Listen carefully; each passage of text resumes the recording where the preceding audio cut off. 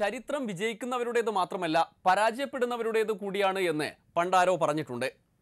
എന്തായാലും കെ കരുണാകരന്റെ മകൻ കൂടിയായ കെ മുരളീധരൻ എന്ന കോൺഗ്രസ് നേതാവ് പരാജയപ്പെട്ട് ചരിത്രത്തിൽ ഇടം പിടിച്ച ആളാണ്. ആ കഥയാണ് ഇന്നത്തെ ചരിത്രം വിചിത്രത്തിൽ.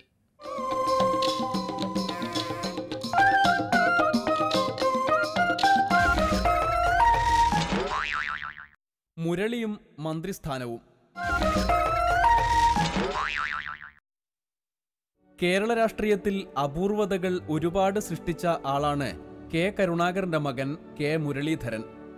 ഗ്രൂപ്പ് രാഷ്ട്രീയത്തിന്റെ അതിപ്രസരത്തിൽ K P C C president പദം രാജിവച്ച് എ കെ ആന്റണി മന്ത്രിസഭയിൽ വൈദ്യുതി മന്ത്രിയായി. എം എൽ എ അല്ലാതിരുന്ന മുരളീധരൻ വടക്കാഞ്ചേരി ഉപതെരഞ്ഞെടുപ്പിൽ മത്സരിച്ചു.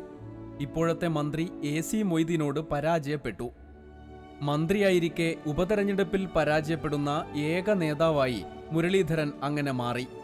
മുരളി മന്ത്രിയായിരുന്ന കാലയളവിൽ നിയമസഭ ചേരാതിരുന്നതിനാൽ സഭാ നടപടികളിൽ പങ്കെടുക്കാതെ അദ്ദേഹത്തിന് രാജിവെക്കേണ്ടിയും വന്നു. ഒരേ കാലത്ത് മൂന്ന് പാർട്ടികളുടെ പ്രസിഡന്റായി എന്നതും മുരളിയുടെ മാത്രം പ്രത്യേകതയാണ്.